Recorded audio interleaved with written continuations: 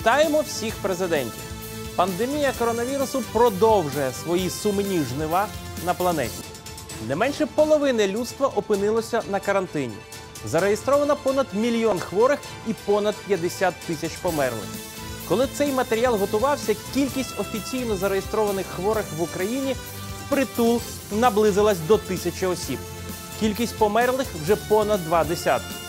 А коли ви побачите, прочитаєте або почуєте мою розповідь, певний ці цифри збільшаться. Ситуація стрімко змінюється і поки що не в сторону покращення.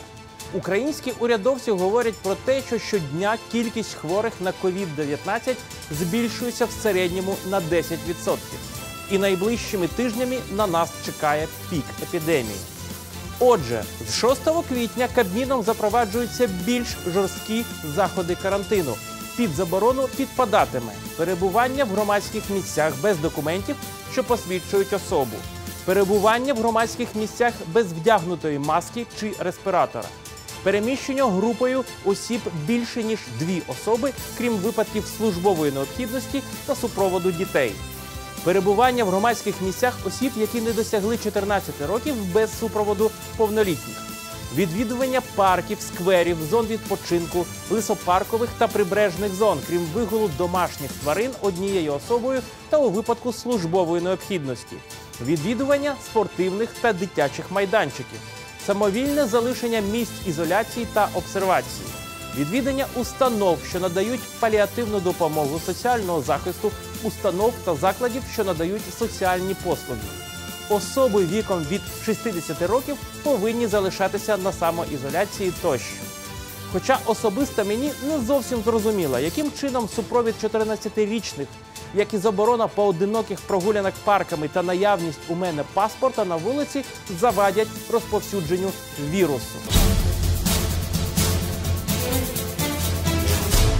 У будь-якому разі хвороба наступає, і тут знову і знову постає питання спільних дій всіх гілок влади. Ми всі пам'ятаємо бурхливу сесію обласної ради 27 березня, на якій депутати прийняли рішення про перерозподіл обласного бюджету та виділення понад сотні мільйонів гривень на боротьбу з епідемією. Минув тиждень. Як там справи? Чи виконує виконавча влада, тобто обласна державна адміністрація, ці рішення? На пряме запитання про це голова ОДА Олександр Стаднік відповів розлого та непрямо, натякнувши на незаконність цього рішення. Слушайте, ну ми не можемо, ми не можемо так казати, що ми будемо робити цією сесією. По-перше, є голова обласної ради. Я вважаю, що це питання е, до Вікторії Вікторовни, бо є 64 депутати, які відповідають за стан речей в області перед е, всіма своїми виборцями.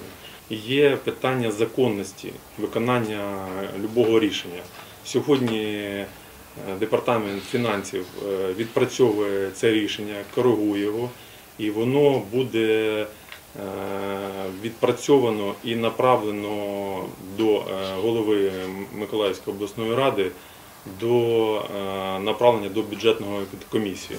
Говорячи про законність, голова ОДА напевно має на увазі заяву заступника голови обласної ради Андрія Кротова, в якій той стверджує про те, що не голосував за відповідний проект рішення обласної ради, а за нього це, начебто, зробила Вікторія Москаленка. Хоча заявив він про це через кілька днів після сесії. Сама Вікторія Вікторівна це заперечує. Тобто кнопку ви не натискали. Звісно, ні. Ви скажіть мені, будь ласка, і про яке можна казати кнопкодавство, коли людина сидить в залі, коли людина заступник голови обласної ради, коли людина отримує кошти заробітну плату. І е, якщо спитаєте у Кротова, так він проти того, щоб поділяти гроші на коронавірус? Я думаю, тут е, відповіді очевидні. І говорить про те, що всі ці заяви не мають жодних юридичних підстав та наслідків. Я просто вам наведу приклад, щоб розуміла громада. Е, 16 травня 2019 року ми голосували за те, щоб е, на- призначити директора КП Миколаївський аеропорт. Е, Три рази голосування е, не приймалося, тому що було 32 голо- 32 голоси. Тоді пан Алабін е, третій, раз е, проголосував за і висвітлило рішення 33. На наступний день пан Алабін написав заяву про відкликання голосу. На наступний день я підписала рішення, тому що заява пана Алабіна не мала нія- ніякої юридичної підстави. Ні законом, ні регламентом, ні жодними правовими актами не передбачено відкликання голосу. А Олександр Васильович збирається звертатися за оцінкою законності рішення обласної ради до бюджетної комісії ради, її окремого органу. Це туди, де голова Федір Варна, який буде напевно головою цієї комісії за будь-яких президентів та політичних режимів. Потім бюджетна комісія вирішує питання коригування правильності цифр, законності, е, які мають бути, по-перше, це законність цього рішення. По-друге, е, можливість його виконання цього рішення. Отже, підсумуємо: ми на порозі піка епідемії. Марно сподіватися, що Миколаївську область вона омине. А гілки обласної ради і досі зайняті політичними розборками, замість того, щоб спільно готуватися зустріти хвилю захворювання. У будь-якому разі коронавірус вже спричинив величезні зміни у нашому житті. Засідання постійних комісій міської ради, наприклад, відбуваються на вулиці, на свіжому повітрі. Депутати та чиновники дотримуються карантинної дистанції, надаючи всім приклад правильної карантинної поведінки. Хоча, напевно, надлишок кисню провокує у деяких депутатів появу дуже цікавих ідей, як перекласти вирішення проблеми коронавірусу на чужі плечі та не паритися. Второй вопрос. Илон Маск сегодня написал в Твиттере о том, что он готов предоставить любую по запросу в регион, где продаются Теслы. У нас Украина на 11 месте в мире стоит. Э, В кратчайшие сроки бесплатная доставка, бесплатная ИВЛ. У него свое производство. Давайте в Твиттере сделаем заявку от міської влади, міста Миколаева, Украина. Просто сделаем На заявку. Теслу. На Теслу. Почему вы чего смеетесь? Ну, сделайте заявку. Хотите, я напишу. А міський голова Олександр Сінкевич анонсує проведення сесії міської ради дистанційно. будемо приймати рішення щодо проведення дистанційного сесії. Е, Щойно прийнятими, нещодавно прийнятими новими змінами до законів України, такі сесії дозволяється проводити за умови забезпечення технічної можливості. У нас такі технічні можливості є. А тим часом в Україні від 30 березня нові міністри фінансів та охорони здоров'я. На позачерговому засіданні Верховної Ради депутати за представленням уряду, а фактично Зеленського, зробили таку заміну, хоч і не з першого разу. Хоча їх попередники не пропрацювали на своїх посадах навіть місяць. Ну що тут сказати? По-перше, Зеленський, а він за все це відповідає, міняє урядовців так часто, що особисто я не певний, чи варто взагалі запам'ятовувати прізвища прем'єрів та міністрів. По-друге, це дуже красномовно говорить про професійний рівень нової владної команди.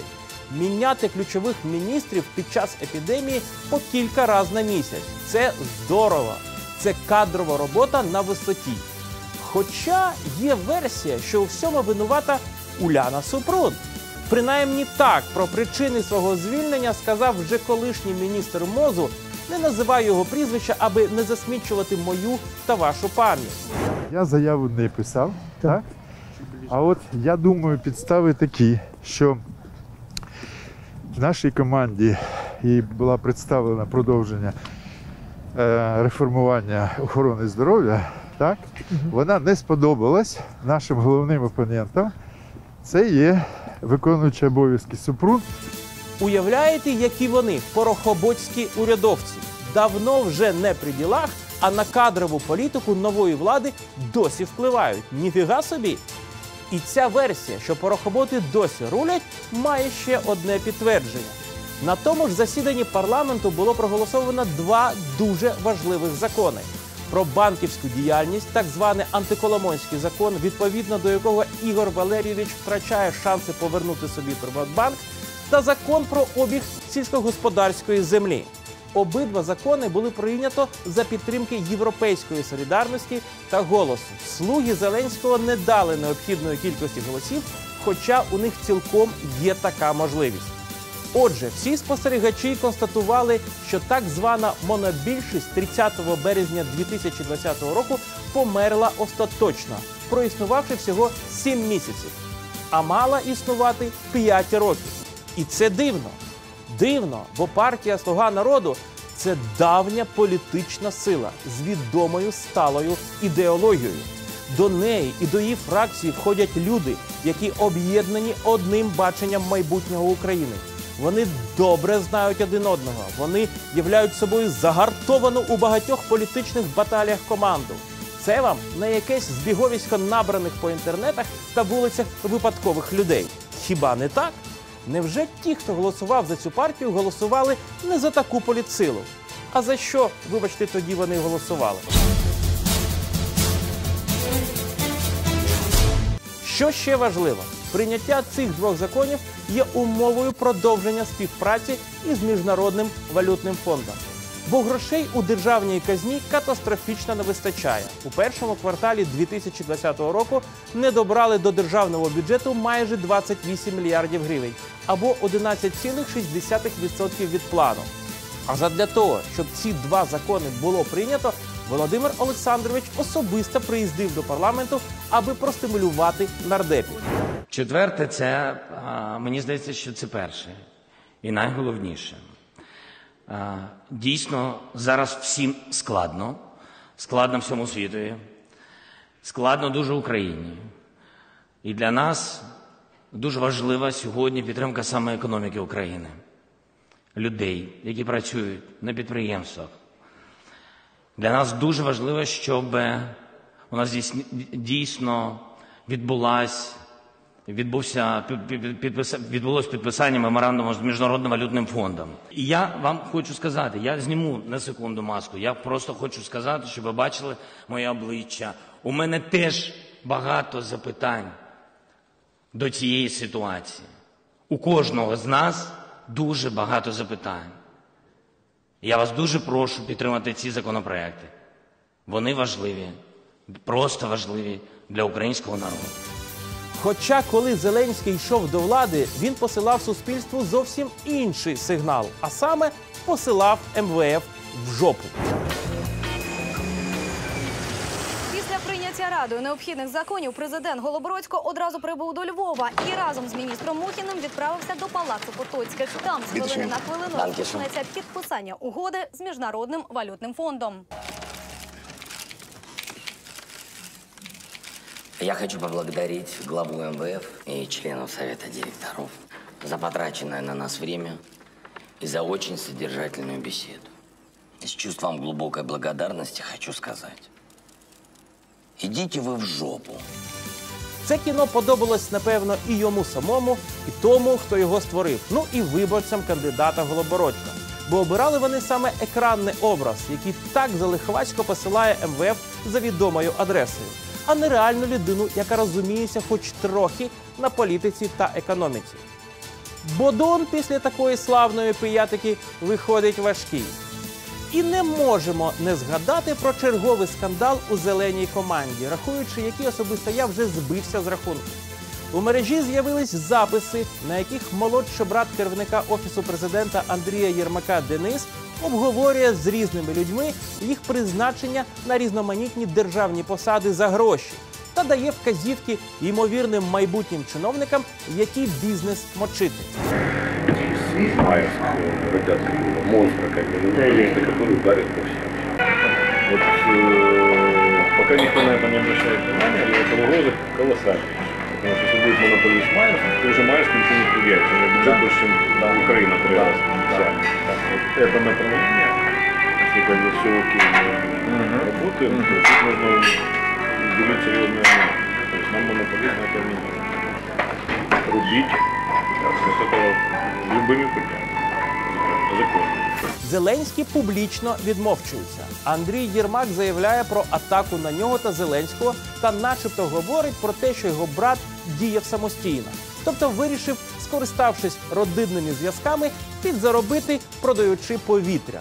Можливо, і так. Але якщо це і так, сам факт здійснення записів та викладання їх у публічний простір говорить про жорстоку підкилимну боротьбу у оточенні Зеленського, яка не має нічого спільного з відкритою політичною боротьбою. Бо для політичної боротьби потрібні справжні політики, а не 95-й квартал. І так, це зовсім нове, не таке, як було за Порошенка. Ну а дивлячись на те, як Зеленський захищає Єрмака, розумієш, що вже зовсім скоро міністрами у нас можуть стати водії та інший обслуговуючий персонал 95-го кварталу. Але незважаючи на все це, хочу ще раз привітати мудрий український народ з черговим вдалим вибором. Завершуючи, дотримуйтесь дистанції, одягайте маски у громадських місцях, потурбуйтеся про літніх людей, не панікуйте, тримайтеся. Сонця стає все більше, а сонце наш союзник у боротьбі з вірусом. Передусім, сподівайтеся на себе і намагайтеся не захворіти. За цим кланяюся. Зустрінемось.